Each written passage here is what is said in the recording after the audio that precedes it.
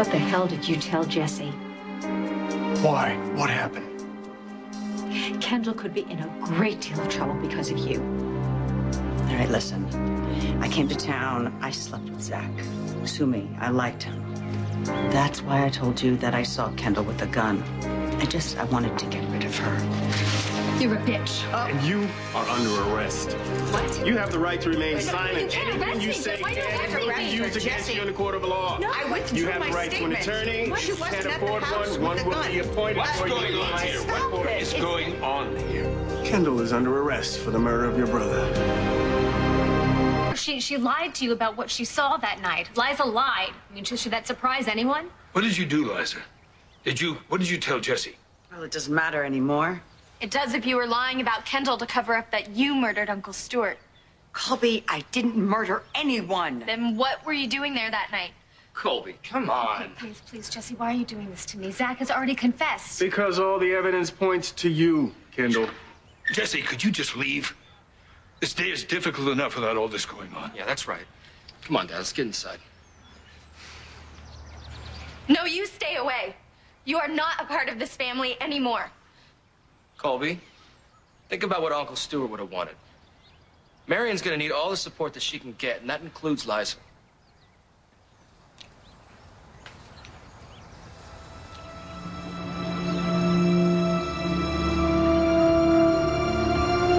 I, I admit I wanted to kill Adam. I was there, but I couldn't do it. I, I couldn't go through with it. I mean, you, you talked to Ryan. I mean, he, he must be able to, to, to back up my story. Yeah, I talked to Ryan. It's one of the reasons I'm here. Your stories don't match up. Jesse already had a witness. A witness who saw her? Who? He wouldn't tell me. So I admitted that I saw Kendall at the grounds that night. Before or after the shooting?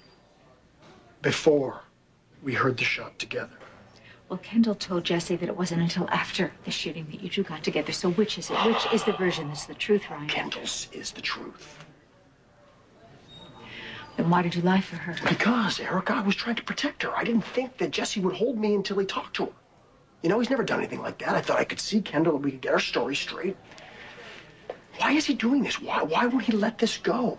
You know, 'cause Zach confessed. He said he was in it alone. Why wouldn't I just back off? Because he's a smart cop. And he knows that something isn't right. Did you lie for Kendall because you think she did it? I lied because I wanted to avoid exactly what she's going through right now. What about you?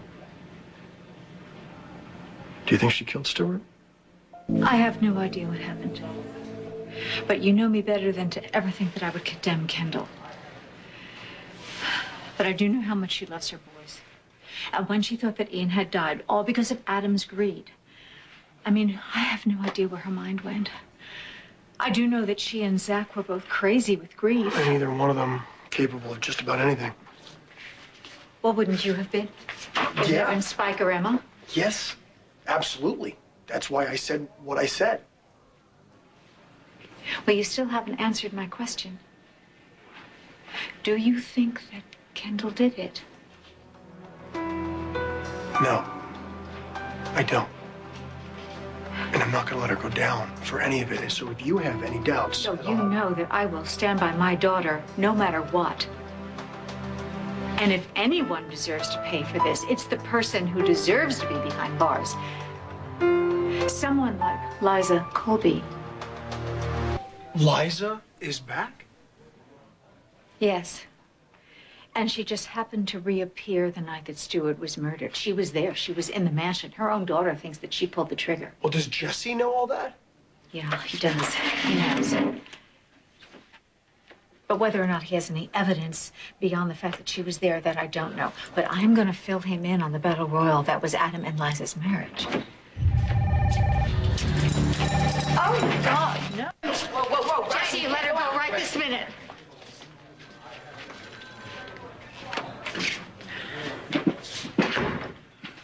You do know that the two of you brought this on yourself, lying to me, doing a murder investigation, and then you tell me two completely different stories that kind of scream somebody's guilty. Not only that, it also pisses me off, I Ryan. was scared for her, Jesse. I tried to protect her. It doesn't mean that she did it. Funny thing about people who lie to you, then turn right back around and admit that they lied, all of a sudden you can't believe a thing they say. So sit down, shut up, wait your turn.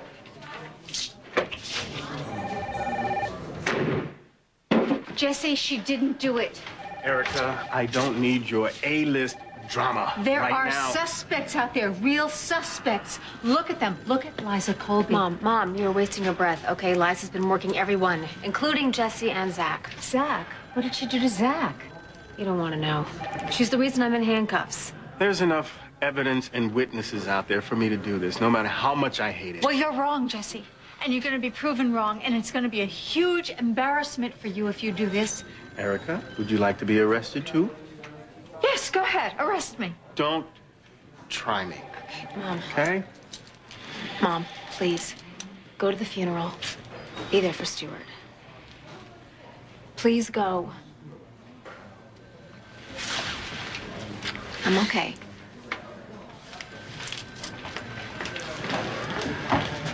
I'd like to see Ryan just for a minute. There was no doubt that Christmas was Uncle Stuart's favorite holiday.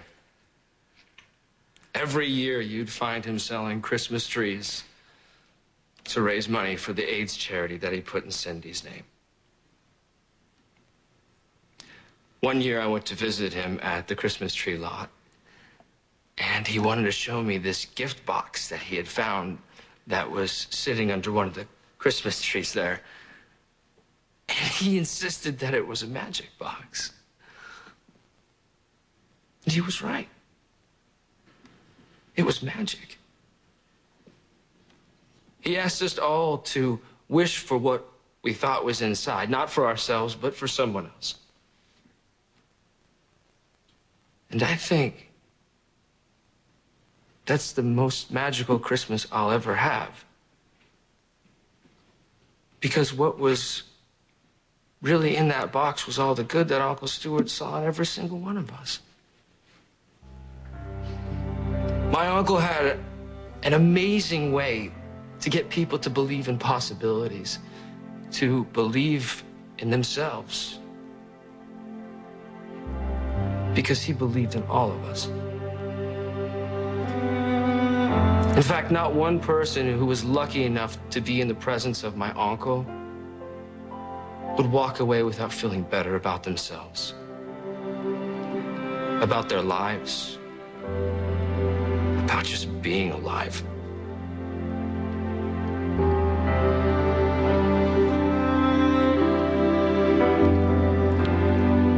I know that you're really not gone, Uncle Stuart, because you'll always be there.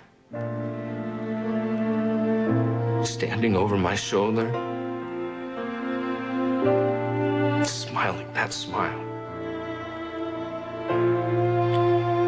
and whispering in my ear, and reminding me that life isn't just some stupid box, but a box that's filled with hope and faith. And most of all, magic.